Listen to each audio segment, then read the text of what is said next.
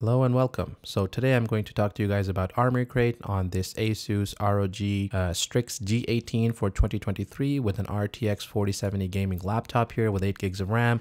New for 2023, this is an 18 inch laptop and over the last week to maybe 10 days or so, I've been trying to tune this laptop in all kinds of different ways in order to get the best gaming performance out of this laptop. Let's jump in here. So this is Armoury Crate. I'll give you a little bit of an overview of this thing. As you can see, I've been trying to tune some things, but let's jump back to kind of a default setting here and I'll give you guys an overview how this laptop is set up. So out of the box, when you load it up, you'll find that Asus ROG Strix comes with the Armoury Crate, which is their control panel for everything that's related to the laptop's hardware.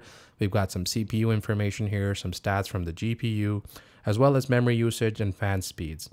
And what's more interesting here is that these GPU modes, we'll be looking at this quite a bit, and we'll be looking at these performance toggles here. So you can see here is silent, there's performance and turbo. So these are the different profiles that I've been referring to throughout my gameplay videos, and I'll be discussing heavily in this video on how they affect the actual gameplay performance. And I'll jump into maybe Witcher 3 and Cyberpunk 2077 just to give you an overview how these settings actually affect gameplay performance. And I'll talk about my repeated failure at attempts to try and get the full 140 watts on this RTX 4070 that has been promised by Asus. Thus far in that aspect, it is a total disappointment and I've done everything from reinstalling Windows not once but several times. Uh, the only option I have not yet tried is to do a clean install of Windows, which means I load up Windows ISO onto a USB stick, uh, I boot up from that USB stick, I wipe the hard drive clean. That means all of the software is deleted. I format the drive, remove all the partitions that come from the manufacturer pre-installed, including the recovery partition, and then I proceed to install Windows. And after Windows is installed, then I slowly install one by one the additive drivers uh, before I get into uh, a working laptop. So uh, maybe I will attempt that later if there's, you know, if I have time or if there's sufficient energy to do so. Also keep in mind that all of these machines are Intel for now because AMD, in my opinion, is just vaporware. As much as they announce exciting stuff and their GPUs, there simply isn't stock here in Canada. But as of now, you cannot find any of those in the market. They were due to be released at the end of February, but now it looks like I've spoken to a couple of retailers here in Canada and they're saying that April is the earliest time frame you can expect those laptops. Here you have a big dial which shows you your current frequency. One thing I'm very happy about is that the Intel CPUs, though they promise 5 gigahertz plus, on multiple occasions seen it actually hit 5 plus gigahertz. But uh, the caveat there is if you look at these performance levels, excuse me, if I go into turbo, uh, it basically cranks all of the power levels up. So you're looking at nearly 150 watts on this CPU to get that level of performance. However, in gameplay experiences, I've seen it around 4, 4.2, 4.3 gigahertz in that range. It seems to be hovering at that range quite comfortably uh, with, I would say, decent power draw. I don't have exact power meters here to give you quantitative numbers, but it seems like it, it does quite well. So you've got performance profiles here, silent. Basically, you will not hear any fan noise from this laptop. Uh, it does take a dip on the performance though, because what this does is it limits the CPU and the GPU uh, in terms of the wattage that's pushed to either of them, and you'll get less performance in silent mode. These are baked in profiles, but you can take my word for it. I've done enough testing with these devices to know that silent profile, it, it does give you a ding against your performance, uh, but the, the laptop actually runs in silent mode. I, the fans are running, but they're inaudible. At ear distance, when you're sitting in front of the laptop, you cannot hear them. Next up is performance mode, and I've done most of my testing in this mode uh, because it balances what I believe is the best combination between performance, uh, noise, and heat. Now, if you look here on the right hand side in this GPU stats panel, we can see here that the maximum TGP for this GPU, which is the 4070 8 gigs, is supposed to be 140 watt. This is some magical number that Asus has made up. I have yet to see anywhere close to this number. Now I understand that 25 watts is held back for the dynamic boost from NVIDIA. So when the CPU usage is low enough or power to the CPU is low enough, it will kick up the extra wattage to the GPU so you can kick all the way to 140 watts and get that massive performance boost. I have yet, however, to see that manifest in multiple games. I've tested The Witcher 3, Borderlands 3, uh, Cyberpunk 2077, City Skylines, Anno 1800, Fortnite, and I have not seen that number. I've been seeing 100 to 105 watts pretty much regularly despite whatever mode I'm running in. Uh, and I've also done turbo mode testing. So turbo mode ramps up the fan speed to near 50 decibels or maybe even higher. It is quite loud. You can definitely hear it. It's audible at ear level. So silent mode, as you can see here in the fan speed panel, it shows 33 dBA. That's pretty much inaudible at, at uh, sitting distance in front of this laptop. So the fans are on, but you cannot hear them. So it's been a very good experience. Performance boost that I believe to around 40 decibels if I was to guess. Uh, maybe some of the other reviewers on YouTube have actually taken actual measurements. Uh, and then the turbo mode really ramps things up to 50 decibels, which my opinion is not worth it considering you get single digit performance numbers boost if that. So what I've also done and some of you mentioned in the comments, so thank you for commenting and you know letting me know, but I've I've been testing as well in manual mode. As you can see here, I've been playing around with all the PL1s and PL2s of the CPU. So this is the power level, which is a continuous boost or long-term boost, and PL2 is a burst burst mode. PL2 gives the C CPU up to two minutes to run at this power level and the PL1 is the sustained power limit where it will run for long periods of time. And you can see I've clamped this all the way down to 28 watts on the PL1 and 45 watts on the PL2 just to give the i9-13980HX with 24 cores some breathing room to, to stretch its legs. On the GPU tab, if you look at the GPU, I've been playing around with this. I've also been trying to overclock my GPU a little bit. However, I have not undervolted yet. Maybe that's the next step I will look at. However, I doubt that undervolting this GPU is going to take me from 100, 105 watts all the way up to the 100 140 watts that's promised. So that said, I have been able to get a little bit of an overclock going on this GPU. I've gotten 80 megahertz on the boost clock and that seems to hold fairly steady. Here's a little pro tip. Do not restart your computer or hard shut down the machine. Hold Control Alt Delete and just be patient. Eventually when Windows will come up, you can from that screen do sign out, which will sign you out of Windows, closing all of the applications, and you should be able to return to a usable state. On the memory clock here, I've also gotten a 200 megahertz offset. It, it does show visibly in uh, in the afterburner and the stats from Riva Stats Tuner, but it does not seem to have made a huge difference, if anything at all, on overall performance. Now here, the dynamic boost, it's set to 25 watt. I've left it at left this at maximum uh, but I, have yet to see this 25. So even if it was 105 watts was the actual performance, plus 25 watts will still put you at 130 watts.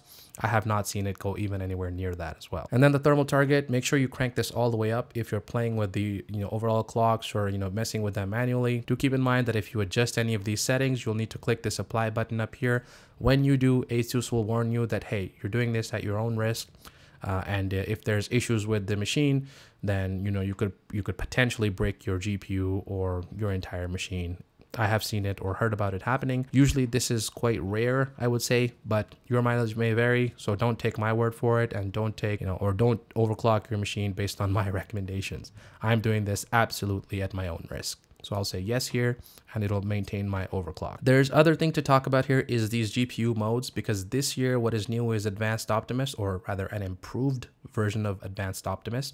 And what Optimus does is it allows you the machine to toggle between the integrated GPU, which is built into the i9-13980HX, and the discrete GPU, which in this machine is the 8 gig 4070 laptop GPU. When you get this machine out of the box, you'll find it in standard mode. So right now I've got this machine in ultimate mode, which means it's wired directly to the GPU. It's no longer using the integrated GPU. I've also tried switching all of these modes to see if it has any real effect on performance so I can get close to that 140 watts figure. However, thus far, there's been no change. No matter what mode I'm in, except for eco mode, I'm getting very similar performance on that GPU, pegged to about 100 to 105 watts, and it does not really go quite above that. I have seen like quick flashes up to 115 watts. Those almost seem like blips that they're so infrequent. Being in standard mode and you can toggle most of these modes without having to reboot. That's the beauty of Advanced Opt Optimus, except for the G GPU mode, which is here the ultimate mode. So this will actually toggle a BIOS setting and restart your machine to say that it's going to be fixed or the mux is then switched on so that the machine is hardwired and the display is directly connected to the 4070 GPU and the integrated GPU is disabled. If I open here my task manager, you can look here and see that I've got here a GPU one. Right now it's getting some usage, 50, 60-ish percent, and the GeForce uh, GPU is running. So, and that's because I'm capturing video. So obviously uses the NVENC encoder for OBS to actually encode these videos. That's why you're seeing this GPU be light, though I'm not playing any games at the moment. All right, so after rebooting, we're back here to the Windows OS, and we can now see see that it's toggled into standard mode. Now you've got some other modes here. There's eco mode, which focuses on battery life. It disables the NVIDIA GPU altogether. I cannot toggle that into right now because there's actually uh, usage on that GPU. It's lit up by OBS. And I also cannot toggle into optimized mode because this is also a, uh, this is the advanced Optimus version. This one won't kick in because again, I've seen, I'm seeing usage on the GPU mode. The other thing I've noticed is that switching these modes is very, very buggy. Sometimes it works. Sometimes you have to click a mode back and forth or toggle between them three, four, five times. Sometimes you click a mode as you can see here if I do, and it jumps right back into standard mode. Looks like nothing has happened and there's no message or any indication of why it was not able to switch these modes. So I had kind of had to do a little bit of figuring out on my own to see why that was happening. So I would say that Asus, please fix this. If you're giving us these GPU modes, but you cannot switch between them, or if they're not informative enough to know when and how you can switch, they're pretty useless in my opinion. This is why in, in my cases, usually I don't like using any of this software that's bundled with these machines because they're junk. So what I would do usually is set it into mode using the BIOS or Windows and just do some manual tuning to pin down the PL1 and PL2 on the CPU and that's about it. Or I'll just leave it in the performance mode and run it at optimized mode using advanced Optimus so I can get better battery life when it's unplugged and pretty good performance when I'm on my uh, GPU for gaming and whatnot. And I believe that's what the majority of the people will do. There's a few of us who are hardcore gamers or really enthusiasts who are going to sit there and tweak this for hours and hours on end. Uh, I can assure you manually, you know, tweaking and testing each of these offset clocks at 10 megahertz at a time took me quite a while. And I had to repeat that for several games to make sure that I had stability on my system so it can be a very time consuming and intensive process. I like to either run in standard mode or optimize because optimized I believe is the better modes of these. Eco mode I do not use at all because it will basically disable the NVIDIA GPU uh, with no change basically to the battery life that I've noticed. And ultimate is discrete GPU. Again, because this GPU seems to not go past 105 watts, uh, thus far this mode is absolutely useless. There's no reason to run in discrete mode. I have not seen any other issues with gaming. Maybe for a competitive FPS shooter or if an esports player and you notice notice that there's some extra lag that's introduced because you're running an Optimus. Perhaps you can boot into this mode and you get the, you know, a lower latency. We'll leave it in standard mode for the moment. I've got some limits here set on the P CPU as well as uh, some overclocks on the GPU. Let's fire up the Witcher 3 and then we'll show you here how the performance is on this GPU. Here we go. Let's skip here ahead. I'll show you the options here. So if I go to video and graphics, I'm on RT Ultra. Everything is pretty much maxed and all of my textures and shadow quality here is set to max. NVIDIA Hairworks is also on. So with that, let's continue the game. All right, here we are. Do you guys enjoy The Witcher 3 still, or do you guys find it a little bit dated? I'm excited about The Witcher 4 announcement. However, I think it's going to be a years out before we actually see that in our or get that in our hands. So here we are. We're hovering with everything maxed. That's RT Ultra, and I've got DLSS frame generation on as well. Let me show you that as well. That lives here under uh, video and display. So I've got frame generation turned on. So this basically doubles the frames. I'm getting very respectable frame rates here, I would say. You know, considering that this is a very old game, but it's got all the RTX and the texture updates, so it's fairly decent. Uh, 56 FPS, but because this is a little bit of a slow-paced open world RPG, you don't really need to run this at 300 frames per second. You're not really going to be competing here in the Witcher single-player gameplay. Uh, so 53 FPS, it's a pretty respectable gaming experience. If I didn't have any other laptop before, I had never gotten a 2000 series uh, NVIDIA RTX 2000 series laptop or tested any 3000 series laptop, I would look at this and say, wow, this is very impressive and I would be so happy with this laptop in a vacuum. We've got the wattage. You can see here that it's running around 95 watts. Sometimes it dips down to 70, jumps up to near 100 watts. There are 98 watts on the GPU right now, running at 80 degrees and 95% usage. So we're pretty much maxing out that GPU. But alas, you can see that it's it's maxing out around 100 watts. It's not going well above that. Not seeing that magical 140 watts number or anywhere even near to that. One more thing I want to point out is that once you exit a game, if you're in standard mode, it takes, you know, your screen is basically frozen. You can interact with the device for a couple of seconds, um, you know, between three and five seconds as it's toggling back between uh, the de dedicated GPU back to the integrated GPU on that Intel i9-13980HX. We'll look at Cyberpunk 2077 with ray tracing everything maxed and DLS DLSS frame generation on to show you what the performance looks like in that game. So as you can see here at this at the top left of the screen, the CPU again is pegged to 28 watts. I'm not trying to let that suck up too much of the juice. I want all of the power to be pushed to the GPU. But you can see at the screen here, it's hovering at around 90 watts right now. Here we are. We're finally in. Okay, so let me show you the settings that I'm running And if I go over to graphics, it says custom, but I, you can rest assured that I've got everything turned on. So this is DLSS frame generation is on, and I've got all of this stuff on here.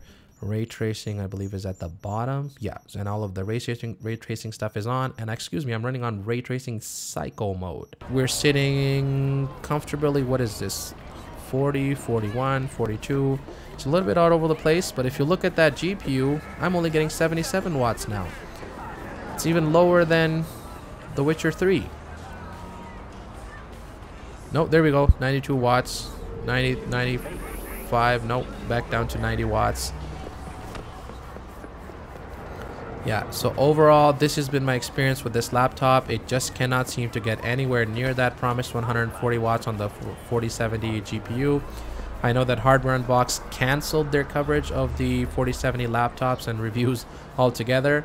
Uh, uh, you know, that to me says a lot. That 4070 is perhaps just a a marketing gimmick on a higher tuned or maybe a higher clock version of the 4060. You can see here I'm sitting at around 39 FPS, ray tracing Psycho mode. Everything is maxed on this uh, on this game, and it varies quite a bit because this machine uh, this game unfortunately is just not tuned all that well. The development cycle was a nightmare. This game was rushed. Uh, the launch was, you know, terrible and disastrous. And for a long time, I waited to jump into this game until the 1.5 update released almost, I believe, a year later uh, on the PC before I ended up buying this game. That is the story here, so I won't uh, belabor the point too much. You can see here the GPU is now down to 75 watts, so I have no idea. Uh, I think that's it for this video, guys. Uh, I've tried to give you an overview of Armoury Crate. Hopefully you understand now some of the configurations there. Before we close out, I did want to show you one more thing, how much junk actually comes with these, you know, control panels and everything that are loaded onto these machines. So if we jump over to processes for a moment, and this is what I want you to capture. So if you look at these, you know, all of these are processes that are related to the Armoury crate. Look at all these services and junk that is eating up your memory. And look at all the bundled junk that comes with these machines. If you look at this, Armoury socket server, Armoury agent, software agent, ASUS app service, ASUS hot plug controller, ASUS link, remote, monitor, optimization, so on and so on. There must be nearly two dozen services that are installed and softwares that are installed from ASUS just consuming resources and eating up processes on this machine. That is all. We'll wrap up this video here. Thank you guys for listening and hope you guys found this helpful. I will try to see if I can find a solution to this machine and getting it to run up to that 140 watts. Maybe it's a it's a known issue by Asus and they're just quietly waiting to release another BIOS update that will actually let us hit that. But as for right now, I would say this is false advertising and I am very unhappy with this machine. Thank you. See you in the next one.